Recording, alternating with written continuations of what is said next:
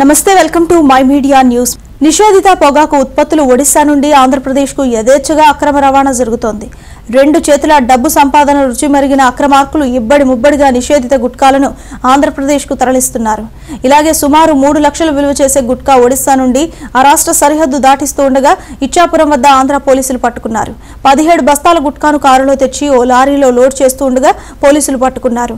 ఈ కేసులో నలుగురిని అరెస్ట్ చేసిన పోలీసులు లారీ కారును సీజ్ చేశారు.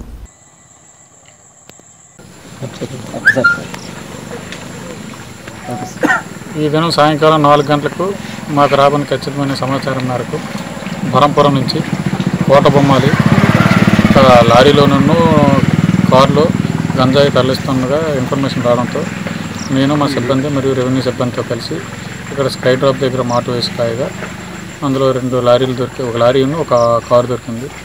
అందులో సుమారు మూడు లక్షల రెండు లక్షల తొంభై వేల రూపాయల సరుకును సీజ్ చేయడం జరిగింది. మరియు నలుగురు ముద్దాయిల అదుపులోకి తీసుకోవడం జరిగింది. వీళ్ళపై విచారించి మిగతా కేసు నమోదు చేసి దర్యాప్తు చేస్తాం.